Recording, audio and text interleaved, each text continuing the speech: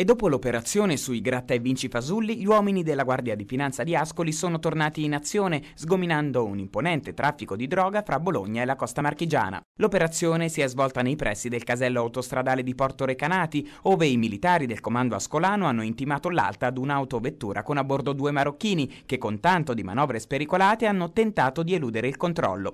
Fatto sta che gli agenti sono riusciti a bloccare il veicolo e la perquisizione successiva ha consentito di rinvenire nel bagagliaio dell'auto alcuni panetti di hashish pronti per essere distribuiti dai due nel territorio ascolano. In tutto sono stati sequestrati ben 7 kg e 400 grammi di hashish per un valore al dettaglio di circa 150.000 euro. Assieme allo stupefacente gli uomini delle fiamme gialle hanno poi sequestrato l'auto, alcuni cellulari e le relative schede.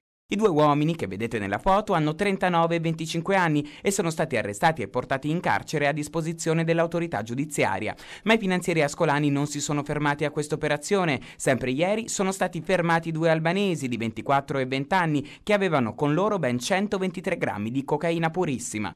La consistente lotta ai traffici illeciti di sostanze stupefacenti condotta dal comando provinciale ha portato sino ad oggi al sequestro di circa 11 kg di sostanze stupefacenti quali hashish, marijuana, cocaina ed eroina e il conseguente arresto di 34 persone. 51 sono state invece le denunce a piede libero e 157 le persone segnalate all'autorità prefettizia, numeri che testimoniano come l'allarme droga sia più alto che mai in tutto il territorio provinciale.